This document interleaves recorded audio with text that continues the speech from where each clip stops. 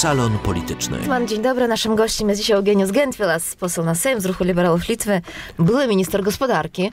Labas rytas jums. Labas rytas. Dzień dobry. Atrodo, kad Butkevičius, premjeras Butkevičius ieško naujo ūkio ministro.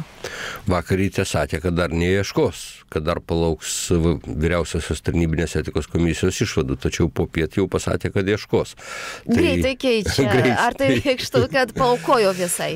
Atrodo, kad paukojo ir tai gana logiška, gal ir nebereikėjo laukti, nebereikėjo žaisti, reikėjo pačiam perimti iniciatyvą. Dabar vėl atrodo šitaip. Nuėjo Butkevičius pas prezidentę ir prezidentė jam pasakė ir jis tada jau nebeklausia partijos ir pasako, gerai, keisime ministrą. Jis turi jausti pulsą, mano manimu. Jis šiaip protingas geras žmogus, bet pulso nejaučia. Prezidentė buvo pasakiusi, kad apie tai su Butkevičiumi kalbėsiu pirmadienį. Viskas aišku, ką pasakys prezidentė. Dar Butkevičius. Gal jums buvo aišku, gal Butkevičius nebuvo, gal, gal Butkevičius e, mane, kad prezidentė vis tik nebus tokia a, radikaliai dėl, dėl ministras Visaitės. Tai čia ir yra politikos, sudėb, politikos sugebėjimas pajusti subtilumus. Geras politikas pajunta. A, tai jūsų manimo, Butkevičius nėra geras politikas? Jis yra geras politikas, bet jis vis dažniau demonstruoja, galbūt nuvardęs, gal per daug dalykų, apie kuriuos reikia galvoti, jis nesugeba susikoncentruoti ir jis prasideda mėtymasis vietoj racionalaus, mm. teisingo sprendimo, jis prie jo prieina, bet dar Žinot, prieš tai zigzagais. Ir girdo ir kitą nuomonę, nes yra tokia nuomonė, kad prieš ministrą Visaitę vykdomas yra organizuotas politinis polimas. Atsiprašau. Taip. Truputį turiu sveikatos problemų. Nu, visiems būna. Dėja, alergija ar, ar gripas, nežinau. Tai aš sutinku, yra organizuotas puolimas ir mes liberalai prie to prisidedame. Kai ministrė daro tiek klaidų vieną po kitos, na, tylėti neįmanoma. Pavyzdžiui, ji kalbėjo apie tai, kad e, trečias energetikos paketas bus e, stengiamasi atidėti jį tiek, kiek galima. Gazpromui naudingas dalykas.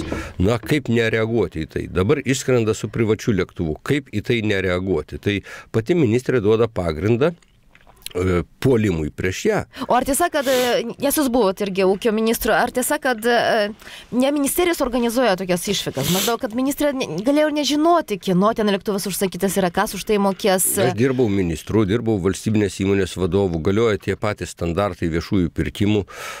Per viešuosius pirkimus pasirenki įmonę, kuri rūpinasi bilietais ir paprastai šitos įmonės atstovas atsiunčia variantus. Na, tris, keturis variantus, pasižiūri grafikas e, skrydžių, kaina, kompanija, su kuria skrendi. Pavyzdžiui, kompanija man irgi aktualu, aš turiu SASO, Lufthansa, ten lengvatinės korteles klientų, kitų neturiu irgi tai at, at, atsižvelgia į tai. O čia ką? Čia užsakytas buvo. Užsakytas, reisas. jis sako, lipdama į lėktuvą pamačiau, kad tai arvi lėktuvas. Tai kaip šitai pro pirštus žiūrėti. Tai sako, Reiškia, kad ministras neturi teisės tiesiog ne. Re, nu tai ką, prieš dar skrisdamas nesuinteresuotas. Už, ministrą nus, už ministrą nusprendė kelionio agentūra, ministras nesikiša į tuos dalykus. Na, galėtų. O ministras, ministras turi laiko kištis dar ir į tai, kokiu lėktuvu jisai skris. Kada skris? už tiek skris, tiek tai kainuos įstaigai. Taip pats asmeniškai ministras turi to užsimti, taip? Jis neturi užsimti. Jis turi peržiūrėti tris ar keturis pasiūlymus. Mhm. O dabar ką, neperžiūrėjo? Mano manimu, žinojo, su kuo skrenda ir ne tik prieš skrydį, prieš lipdama į lėktuvo, jau prieš tai ir šitaip apsisprendė. Žodžiu, čia interesas jūsų manimu buvo. Aš nesakau, ir, ir aš nesakau, aš nesakau kad tai interesas. Viskas, aš nesakau, kad tai interesas, o galbūt abejingumas, arogancija, bravūra. Ai, koks skirtumas, kokia čia problema? Aš nesakau, kad ten buvo kokie nors nešvarūs interesai su Arvi kompanija, nebūtinai. O Arvi kompanija, kiekviena privataus verslo kompanija, na, būtų malonu savo lėktuve pasimti ministrą. Nu, ne tik ministrą, tengi dar, Taip, dar kelios iš savivaldybės, dar. Taip. Tai skrisdavo žmonės. Kompanijos negaliu kaltinti, jeigu čia nėra nešvarių ryšių, o turbūt jų nėra, bet tai yra visiškas ministrės abejingumas, neatsargumas. E, vis tik, o ministrė Visaitė sako, kur buvo prezidentė, kai e, buvo o, vagiamos valstybinės, e, valstybės lėšos, kai Na, tai... ūkio ministro buvo Kreivys, paskui Žilios. E, ir kodėl apie korupciją prezidentė nekalbėjo anksčiau? E, dabar ministrei visai tai užkliūna darbo partija, užkliūna konservatoriai, kurie čia puola ją, užkliūna ir prezidentė. na, ypatingai frazė, kur buvo, kai prezidentė, kai buvo vagiamos lėšos. Na, ponė Vesaitė, teisinėje valstybėje gyvename. Įrodykite, kad buvo pavoktos lėšos. Įrodykite, galbūt jos ir buvo pavoktos, gal ji ir įrodys, bet kol kas tai nėra įrodyta. Net neaišku, apie kokį aspektą kalbama, kurioje vietoje jos buvo vagiamos suprask prie ministro Žiliaus ir apkaltina prezidentę, kodėl prezidentė nereagavo. Žodžiu, tai aš galiu, pasi... čia, jo, aš čia? galiu pasakyti, kodėl opozicijos atstovė šešėlinė ministrė Vesaitė nereagavo į tai, jeigu buvo vagiama. Kodėl e, tuometinis e, opozicijos vadovas Butkevičius nereagavo, o dabar apkaltina tik prezidentę. Na, nu, jūs pat... nežinote, ar reagavo ar nereagavo, gal reagavo, bet e, kad opozicijos apie vagimus ži ne... Žiliaus nebuvo kalbama prie Žyliaus. Dabar ministrė kalba. O apie Kreivį, kai prie Kreiviaus. Prie Kreivio, ji dabar kalb, paminėjo Žylio pavardę. Mm.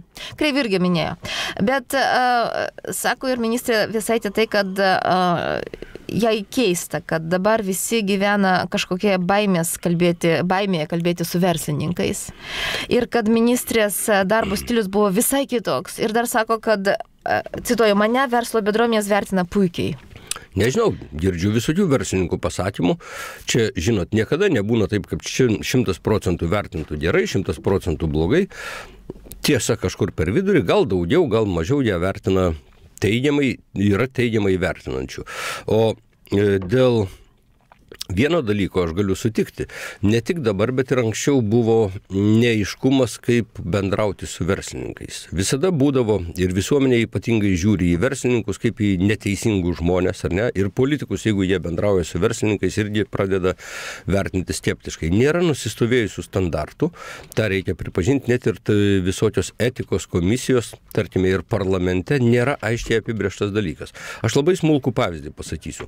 Sausio 25 dieną aš pats Seime kreipiausi į etikos e, komisiją klausdamas, ar aš galiu būti Neptūno krepšinio klubo valdybos pirmininku. Aš e, buvau valdybos pirmininkas. Iki dabar dar nėra atsakymų, nes jie nežino, ar gal, galima būti, ar negalima krepšinio klubo valdybos pirmininku. Iš biudžeto mes pinigų negaunam ir svarsto. Jau keturi mėnesiai svarstymai vyksta, nes nėra norminių aktų, kurie kaip nors apibrėžtų. Tai, gerai, tai čia tai yra problema. Bet ne, neįmanoma kiekvienam gyvenimo atveju norminį aktą Taip, sukurti. Tikrai kažkokį. neįmanoma, bet kažkaip. Yra dar etika, yra. Taip. Ir, ir tarnybos yra, kurios dabar turėtų svarstyti. Tai štai būtent ma, manau, kad e, Vėsaitė čia nepadarė jokių korupcinių dalykų, tačiau tokią tarnybinę etiką, manau, pažeidė, parodydama neatsargumą ir toje vietoje greta kitų problemų, kurias jį yra sukėlusi, čia dėja tapo paskutiniu akmeniu. E, ar opozicija dar rengia interpeliacijos ministrai tekstą, ar jau e, manot, kad neprireiks tos? Liberalai nerengė rengia konservatoriai. O jūs nepadedate? Mes paprašys. Jūs ne, nesat vieninga opozicija. Mes nesame vieninga opozicija. Yra kons, opozicinė konservatorių frakcija ir opozicinė liberalų frakcija. Mes dabar kalbame, darbuojamės prie Andriukaičio. Gerai, bet jeigu e, ministrė taip visai tai sako, jeigu jinai paklaustų prezidentės raginimų trauktis, mhm. tai reikštų, kad pripažįsta savo kaltę, o kaltės jisai jinai nejaučia. Na, Būna tokių situacijų, šeimoje susipyksti, žinai, kad aš e, esu teisus, bet vis tiek paglostai žmonai per petį ir sakai atsiprašau. Dažnai Na, taip darot? Būna. Kartais būna, kad net ir žmona manęs atsiprašo. Žinai, šeima tai šeima, bet čia. Na, aš noriu pasakyti, supaprastintai čia pasakiau apie šeimą, tačiau būna, kad esi kaltas be kalties, esi nekaltas, o prisimti atsakomybę reikia. Ir reikia atskirti du dalykus - juridinę atsakomybę ir politinė atsakomybė. Politikui galioja griežtesni standartai negu šiaip jau kitam žmogui. Mhm. -huh. Dėl to galimo interesų konfliktų kreiptasi į vyriausiąją tarnybinės etikos komisiją. Ar jūsų manimo e, dabar bus laukta tų išvadų? Na, ir kaip paprastai ilgai e, svarsto ta komisija ir pateikė savo labai svarbu, nuomonę. Labai svarbu pabrėžti, kad kreipėsi ne tik konservatorių opozicija, bet kreipėsi ir pats premjeras Butkevičius jau ir jam matyt aišku, kad kažkas neaišku. Tai pliusas jam.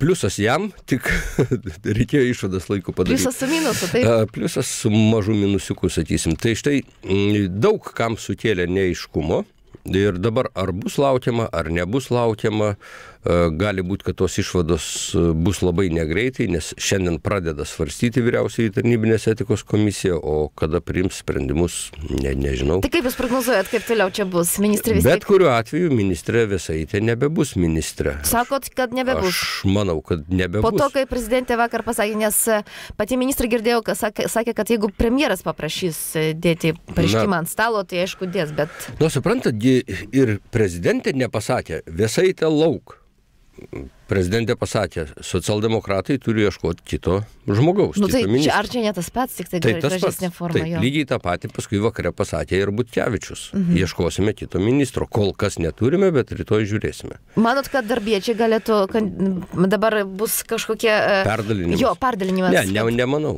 Nemanau, bet akivaizdžiai matosi valdančiosios koalicijos uh, oponavimas tarpusavyje. Uh, Darbiečiai įsižeidę ant socialdemokratų ieško pagalių pretekstų, patikėkite, pasikalbame Seime ir jie kai kuriuose vietose jie mums patys kaip opozicijai duoda duomenis.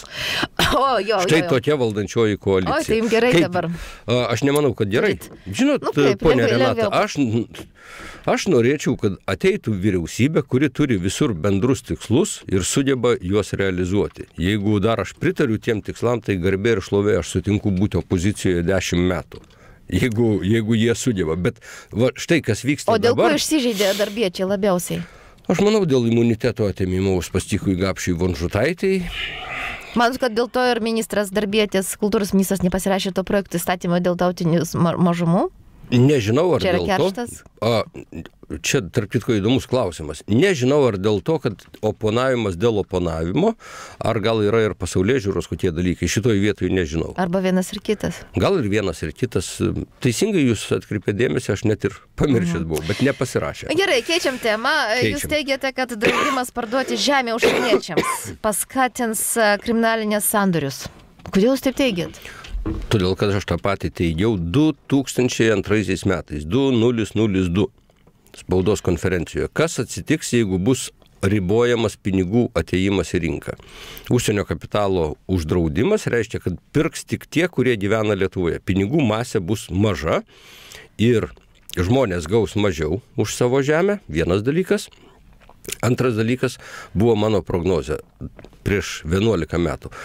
Susikurs bendrovės, kurios supirkinės žemę ir pačios bendrovės perpardavinės žemę užsieniečiam. Ne Petraitis ar Jacekas koks nors parduos užsieniečiui tiesiogiai, jo. o atsiras tarpininkai. Žiūrėk, Taip ir atsitiko. Bet, bet jo, tai, tai viskas tai atsitiko jau, tai dabar kodėl vis tik bandoma dar pratesti tą laikotarpį? Kas norėjo supirkti žemę iš ūkininkų? Aš... Su bendrovės jau supirko, jau, jau paruoštas. Kodėl yra, supirko?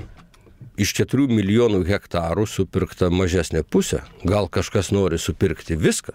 Tai jūsų manimo tas pratesimas draudimui užsieniečiams pirkti žemę, tai būtent tam, kad dar kai kažkas nesuspėjo, laukia čia dar Suprantat, mažesnių kainų. Čia yra į, įvairių motyvų. Yra patriotizmo, kurį taip supranta, neleisime užsieniečiam ateiti.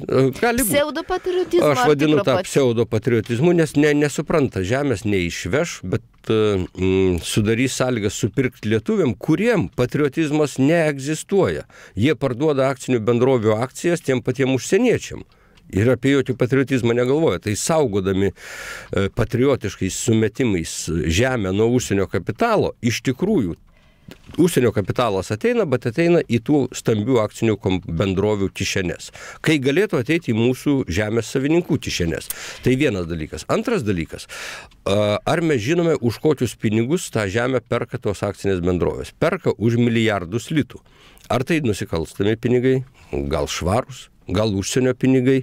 Pavyzdžiui, praėjusią savaitę paaiškėjo, kad Šiaurės Lietuvoje, Pakruojo rajone, Norvegas davė lietuviam pinigų apie 10 milijonų litų, tie jam nupirko 600 hektarų, bet 2 milijonus pavogė. Kilo skandalas. O tiek tokių atvejų, kur be skandalo. Tai jūs tam ir kreipėtės į uh, valstybės saugumo departamento, taip? taip? Valstybės saugumo departamento ir generalinė prokuratūra, kad pateiktų jums tokių faktų. Taip.